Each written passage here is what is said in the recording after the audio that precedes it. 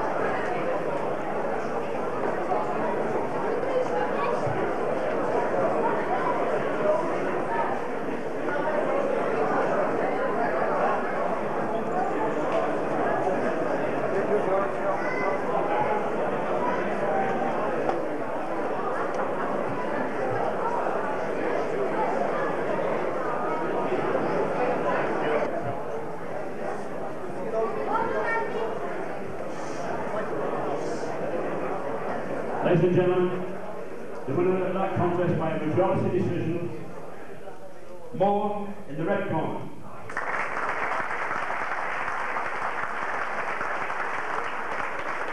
Moving scores forward. Red 16, blue 57. Red 58, blue 59.